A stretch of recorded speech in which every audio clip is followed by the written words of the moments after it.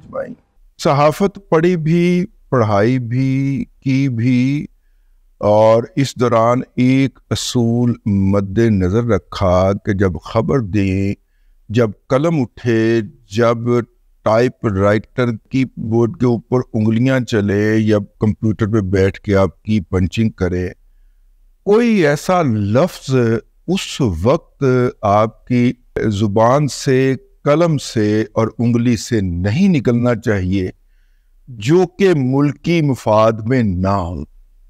ज़िंदगी में बहुत सारी ऐसी खबरें रोकी कि उस वक्त उस लम्हे की नज़ाकत नहीं थी। वो खबर या वो इंफॉर्मेशन मेरे वतन के लिए नुकसानदेह हो सकती थी।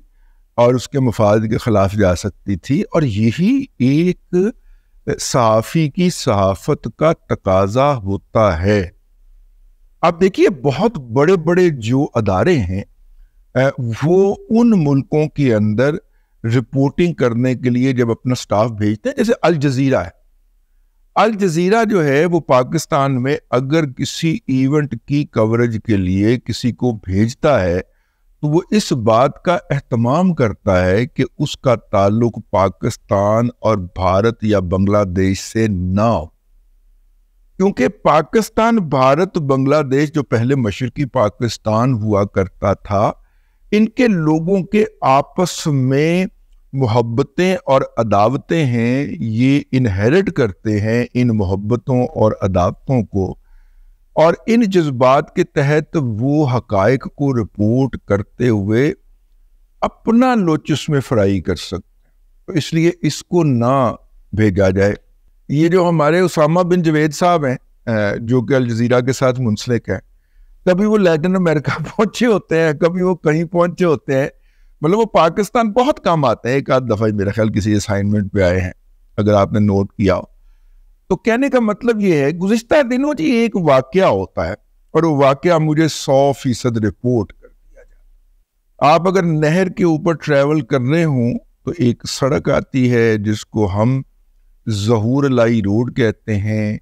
आप उस सड़क के ऊपर मुड़ें तो उल्टे हाथ के जैसे ही नहर से उतरते हुए मुड़े तो उल्टे हाथ पे नुक्कर के ऊपर मियाँ मनशा साहब की आपको एक बिल्डिंग भी निशाद की नज़र आती है। और उसके आगे जाके इसी हाथ पे चौधरी परवेज लाही का और चौधरी शुजात सैन का घर भी है।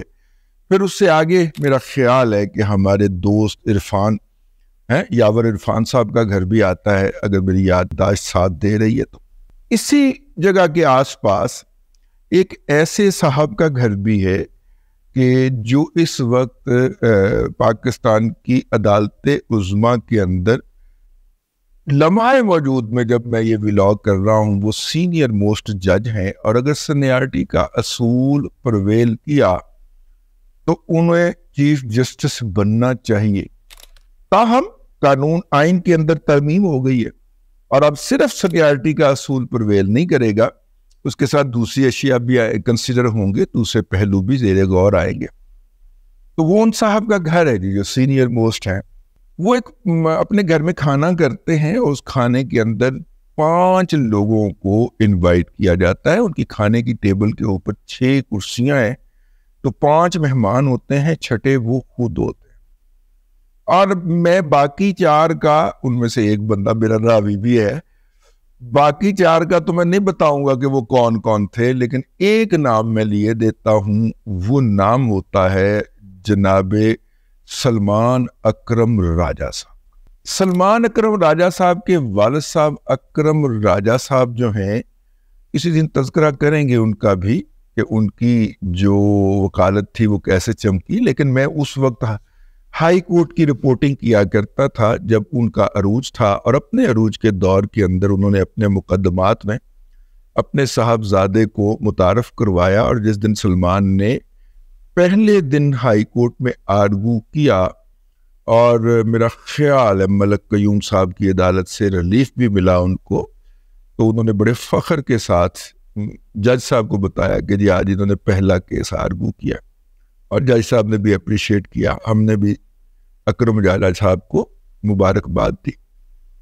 तो हम सलमान साहब को वहाँ से जानते तब से जानते हैं, बल्कि तब से जानते अब वहाँ पे जो गुफ्तगु हुई है, सलमान अकरम राजा साहब के और उन शख्सियत के दरमियान द्रोग बरगर्दन रावी मुबैना गुफ्तगु जो है, वो हमें रिपोर्ट हो गई थी उसी दिन ही कि वहाँ पे ये डिस्कशन हुई है। मैं उस गुफ्तगु का हरफ ब हरफ सुनी है मैंने, मुतलका बंदे से, लेकिन मैं क्रक्स आपकी खिदमत में पेश कर देता हूँ। और सलमान अकरम राजा साहब जो थे, उनको एडवाइज किया जा रहा था।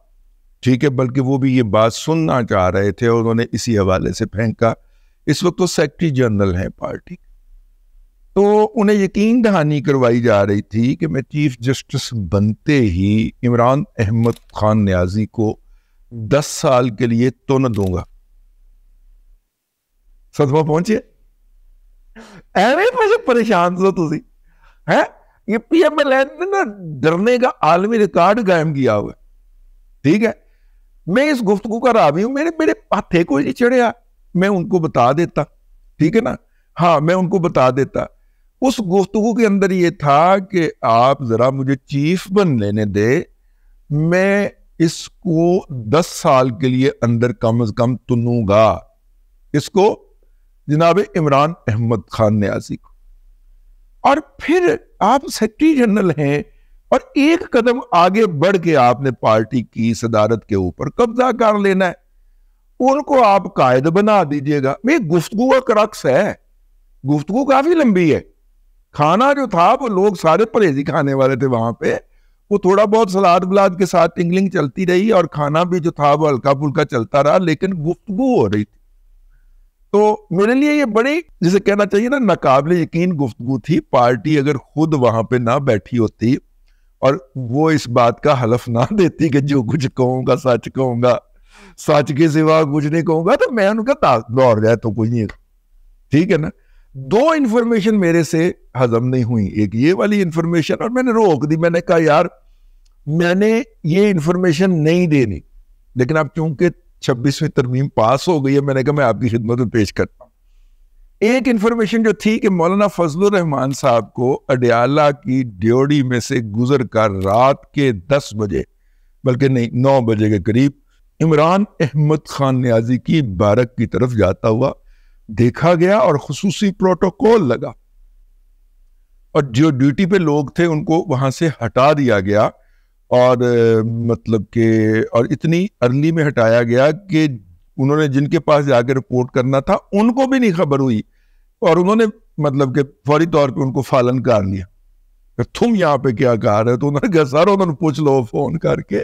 उन्होंने कहा ड्यूटी छोड़ के इधर आ, आ जाओ चले जाओ तो मैं यहाँ पे इसलिए आया हूँ। तो उसने अपनी आँखों से उन साहब ने देखा मुलाजिम ने और मुलाजिम ने मैं कहा कि मौलाना फजल रहमान साहब अडियाला के अंदर इमरान अहमद खान न्याजी की बारक की तरफ़ जाते हुए देखे गए हैं। एक ये खबर थी और मैंने इसको थोड़ा सा हल्का सा इसके साथ शरारत की, लेकिन ये एक खबर सी ना कि चीफ बनूँगा, इमरान अहमद खान न्याजी को नाहल करूँगा और तुम्हारा पीटीआई पे कब्जा करूँगा। ठीक है? ये क्रक्स था उस गुफ्तगु का। मैंने जिस बंदे ने रिपोर्ट दी, मैंने उसकी रिपोर्ट को नहीं किया।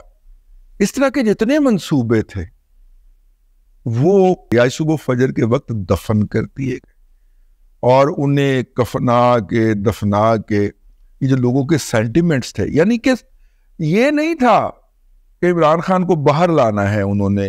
पीएमएलएन जो थी, वो अड़की हुई थी इस बात से कि जनाब, वो तो कह रहे हैं कि हम जनाब आपका इलेक्शन कल अदम करार दे देंगे। नहीं पाई जान मैंने फिर उस पार्टी से कहा, मैंने कहा, इलेक्शन कल अदम करार दे देंगे।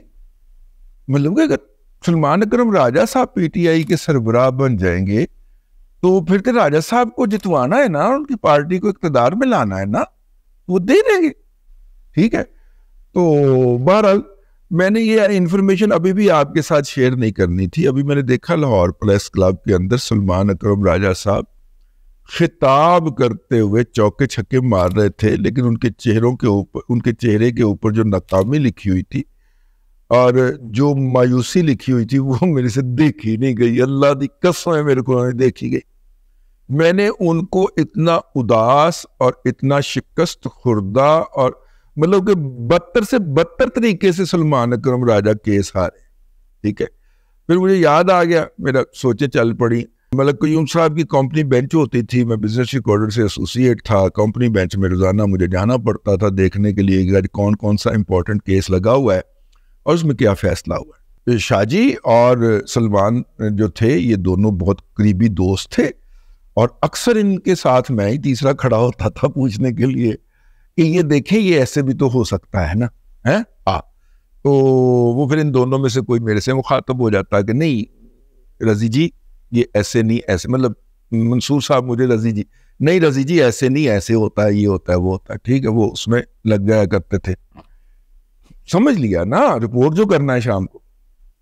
तो दोनों की आपस में दोस्ती भी अच्छी थी, है? मैं ना ले गया। वो नहीं यार, ना, नहीं लेना किसी ने छोड़ो तो बंद कर दो। अब तक के लिए इतना ही अगले ब्लॉग के अंदर आपकी खिदमत में फिर हाजिरी होगी। अल्लाह तबारक वाली आपको आसानियाँ अता करे और आसानियाँ खल के खुदा में तकसीम करने की तोफ़ी अता